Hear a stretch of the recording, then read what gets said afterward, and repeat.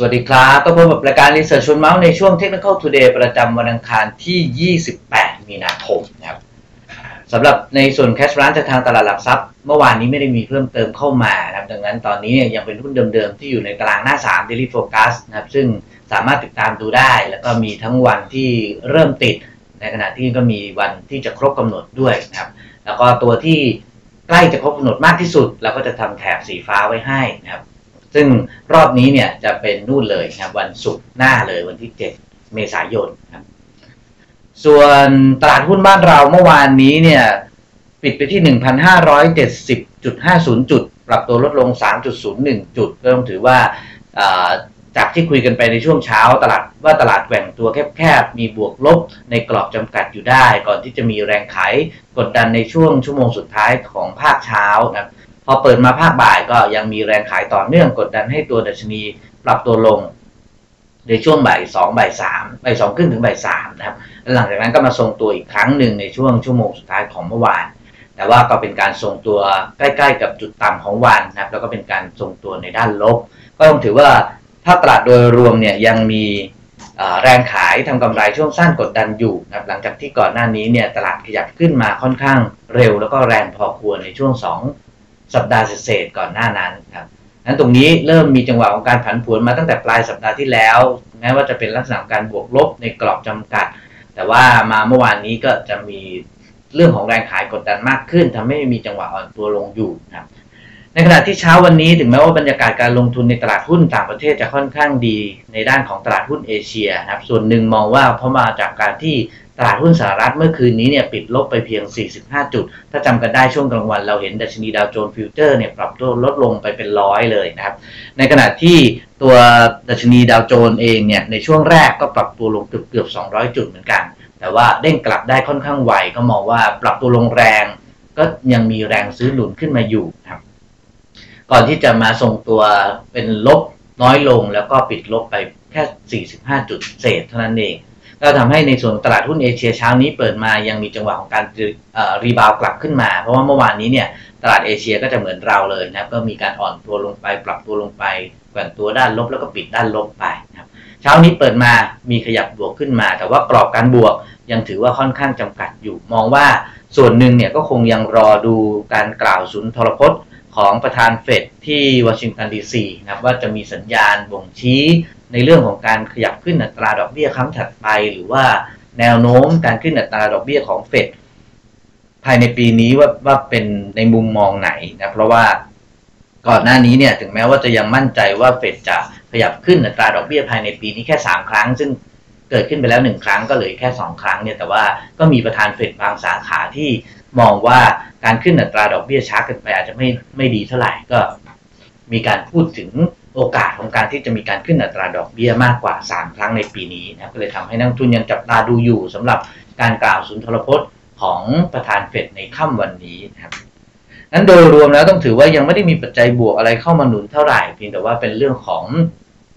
การแรงซื้อที่กลับเข้ามาหลังจากที่ตลาด แต่ละแห่งปรับพักตัวครับนั้นในส่วนของบ้านเราเองเนี่ยเราก็คงมองคล้ายๆกันก็คือ พักตัวลงมาเมื่อวานเป็นลบ วันนี้ก็อาจจะมีจังหวะดีกลับเป็นบวกตามบรรยากาศการลงทุนในตลาดเอเชียเนี่ยแต่กรอบบวกเรายังเชื่อว่าน่าจะยังค่อนข้างจำกัดอยู่ เพราะว่าไม่มีประเด็นบวกใหม่เข้ามาหนุน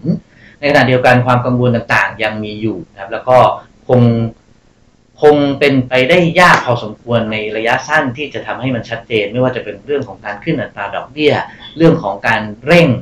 การใช้มาตรการกระตุ้นเศรษฐกิจของทางสหรัฐนะตรงนี้เนี่ยคงต้องใช้เวลาในการติดตามกันอยู่พอสมควรครับนั้นเราก็เลยยังมองว่าโอกาสของการที่ตลาดจะมีรอบปรับพัก หรือว่าปรับตัวลดลง มาแกว่งด้านลบให้เป็นโอกาสในการเลือกหุ้นซื้อเนี่ยยังเป็นไปได้อยู่นั้นเรายังใช้กลยุทธ์นี้อยู่นะเพียงแต่ว่าย้ำว่าเรามองว่าเป็นการพักตัวแค่ช่วงสั้น เป้าหมายโดยรวมเนี่ยมองว่าเป็นการพักตัวกรอบไม่ลึกแล้วก็ยังขึ้นต่อได้ ขึ้นต่อได้ในที่นี้ถ้ามองในเชิงทางเทคนิค ก็ยังลุ้นโอกาสขึ้นไปทดสอบแนวต้านแถวๆ1,600 ที่เป็นไฮของรอบล่าสุดนะครับแล้วก็โอกาสขึ้นไปแกว่งตัวอยู่ในกรอบ 1,600 ถึง 1,650 จุดเนี่ยมีความเป็นไปได้ด้วยครับ ในขณะที่ระดับดัชนีตามพื้นฐานที่ทางฟินแลนเซียเลัสเราประเมินไว้สำหรับปีนี้ เราก็ยังประเมินไว้ที่ 1650ดังนั้นตรงนี้ถือว่ามีอัพไซด์อยู่บ้างนะก็ยังแนะนำว่าสำหรับส่วนที่ซื้อไปแล้ว ถ้าเป็นพื้นพื้นฐานดีราคาต่ำกว่า ราคาตามพื้นฐานพอสมควรเนี่ยน่าจะ เน้นเป็นถือ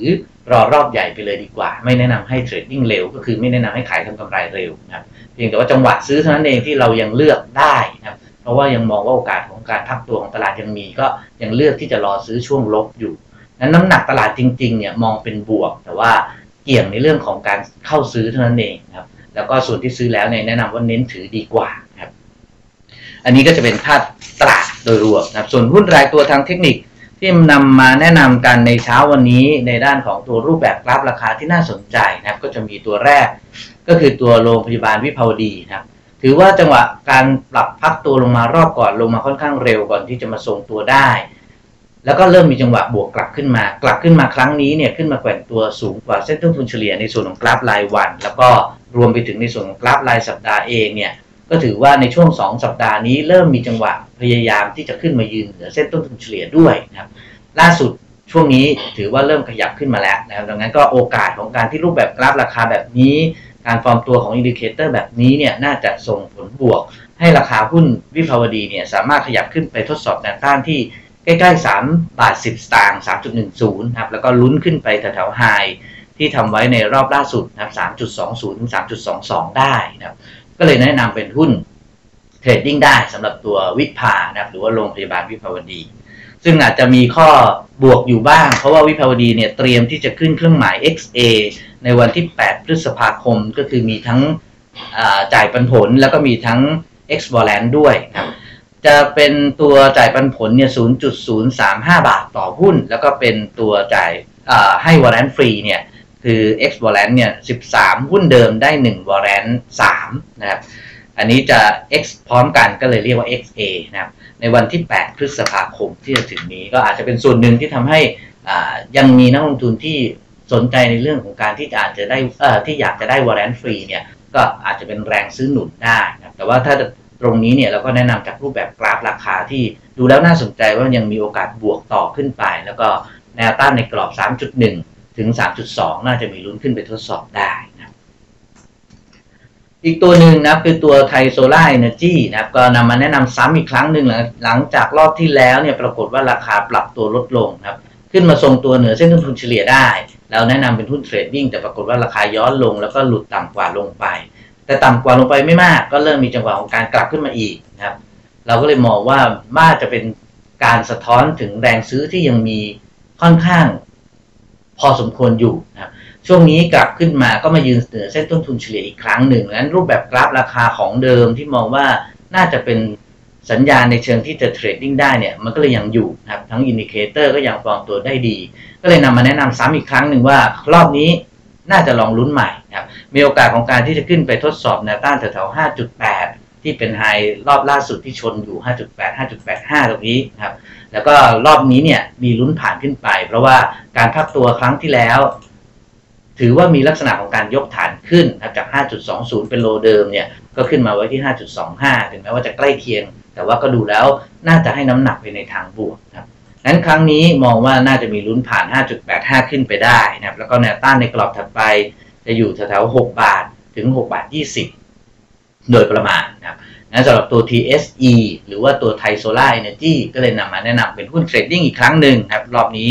ใช้แนวรับที่ 5.45 เป็นเกณฑ์ในการ stop loss ครับ แล้วก็ลุ้นจังหวะบวกขึ้นไปในกรอบ 6 บาทถึง 6 บาท 20 ได้นะตัว TSE หรือว่า Thai Solar Energy จะมีขึ้นเครื่องหมาย XD นะครับ ในวันที่ 26 เมษายนนี้ก็ 0.11 บาทต่อหุ้นนะครับ11 สตางค์ต่อหุ้นนั่นเอง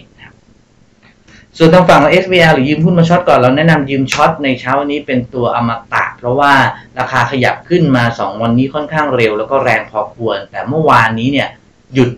การบวกไปดื้อๆนะครับแล้วก็เริ่มมีแรงขายทำกำไรกดดันลงมา มองว่าน่าจะมีโอกาสของการพักฐานลงไป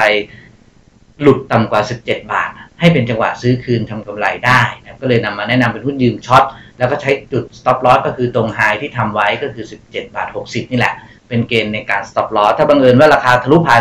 17.6 ก็ซื้อคืนตัดขาดทุนนะครับ หรือว่าไม่ยืมช็อต แต่ถ้าไม่เกินกว่า 17.6 น่าสนใจในการที่จะยืมช็อตก่อน แล้วลงไปรอซื้อต่ำกว่า 17 บาทได้นะครับ ก็เป็นจังหวะของการจับจังหวะของการพักตัวหลังจากขึ้นมาแรงนะตัวมาตาเองก็จะขึ้นเครื่องหมาย XD ในวันที่ 3 พฤษภาคมนี้เช่นกันนะครับ ขึ้นเครื่องหมาย XD เนี่ยเป็นจ่ายปันผล 30 สตางค์ต่อหุ้น หรือว่า 0.30 บาทนั่นเองนะครับ หมดนี้ก็จะเป็นในส่วนภาพตลาดโดยรวม แล้วก็หุ้นรายตัวทางเทคนิคที่นำมาพูดคุยกันในเช้าวันนี้ ส่วนประเด็นต่างๆ ประเด็นอื่นๆ ทั้งไทยและเอ้ยทั้งในและนอกประเทศ ก็เดี๋ยวฟังในช่วงถัดไปจากทางชมพู่แล้วก็นักวิเคราะห์ท่านอื่นๆครับรอสักครู่